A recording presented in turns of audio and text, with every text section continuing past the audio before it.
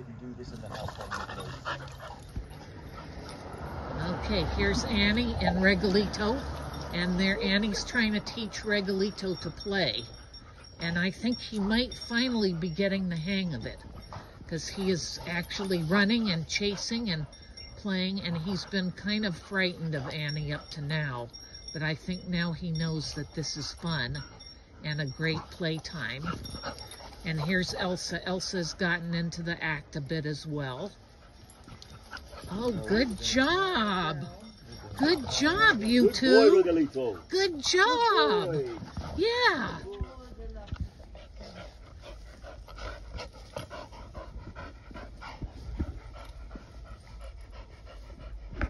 You two tired?